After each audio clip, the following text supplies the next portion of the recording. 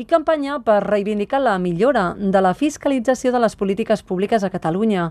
L'impulsa un grup de professionals integrats en l'Associació Catalunya Sense Límits amb el suport de l'Institut Ostromom, un think tank de tendència liberal.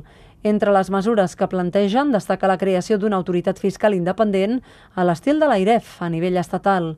Pau Vila, enginyer i un dels impulsors de la iniciativa, ha explicat en declaracions a Catalunya Informació que la Generalitat ja té organismes avaluadors, però ha reclamat que els seus informes siguin vinculants. La gràcia de l'AIREF és que, és una autoritat independent, no política, de tècnics eh, que tenen un, una qualificació suficient per dur a terme aquesta avaluació eh, i que, que pot doncs, fiscalitzar i, i avaluar fins a quin punt les polítiques públiques que proposa el govern eh, funcionen eh, però doncs, eh, també eh, contribueix a crear aquest clima de, de rigor en, en el plantejament de les polítiques públiques. Segons Vila, cal crear una cultura de més rigor polític.